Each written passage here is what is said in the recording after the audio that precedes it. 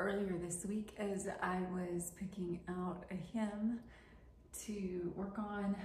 I chose this one that says Wonderful Peace. That's the title.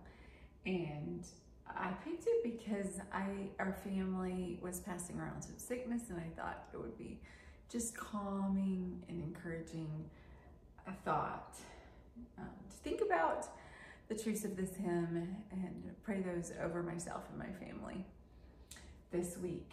And uh, it starts with this, far away in the depths of my spirit tonight rolls a melody sweeter than song and celestial like strains and unceasingly falls, or my soul like an infinite calm. Peace, peace, wonderful peace coming down from the Father above. Sweep over my spirit forever I pray in fathomless billows of love. So eventually, not only was my husband sick, and I was, you know, taking him tea and smoothies and vitamins and water and everything. Um, but five of our children were sick. And so it ended up being quite a bit um, of effort trying to help them get better. And then by Thursday this week, it was um, Samuel's birthday on Thursday and also the four year anniversary of my mom's homegoing to be with Jesus. So I had those things on my mind.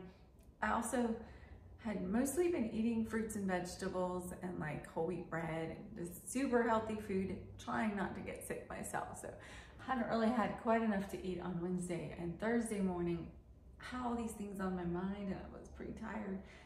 And then all of a sudden, I think I had a really quick drop in blood sugar and my left arm started getting numb and tingly and my fingers on my left hand numb and tingly and then my left side of my face and my teeth and it just came on super fast. And so I decided I better wake my husband up and tell him what was going on. And I, he um, helped me through that situation. And so later in the day when I came back to practice this piece the phrase that was going through my mind was, For I'm kept from all danger by night and my day, and his glory is flooding my soul. And so I just had that realization that God kept me from danger.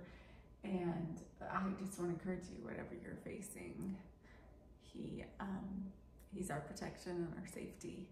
And um, I hope this song is a blessing to you as you listen.